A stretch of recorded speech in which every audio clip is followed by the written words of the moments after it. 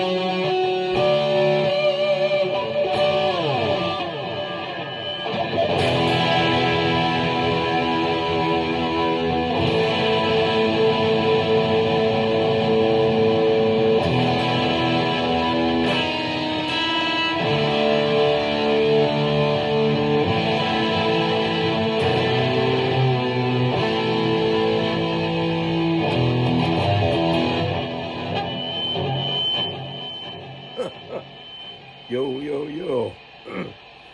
man walks into a bar. walks into a bar. And he's real goofy looking, real goofy looking damn thing. And he had a frog on his on his head. He had a damn frog, both of them, big frog. Goes up to the bartender and he says, What do you want to drink, man? What do you have? And he just stood there. And uh, uh, he said, Well, man, you, what do you want to drink? He said, I guess I'll have the uh, the frog talk. I guess I'll have the Miller Lite beer you advertise. He says, okay, what about him? What about the man you're sitting on? He said, oh, he's just a wart that was on my ass 10 years ago, and this is what he grew into. Ugh.